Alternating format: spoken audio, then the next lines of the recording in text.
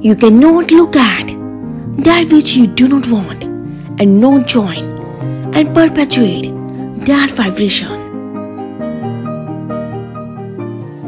Take your attention from that which is not in harmony with who you are.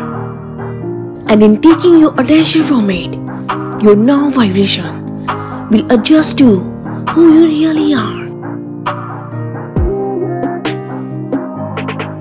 Within.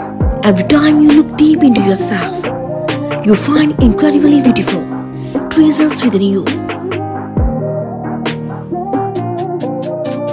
You have the power to manifest all that you desire into your life.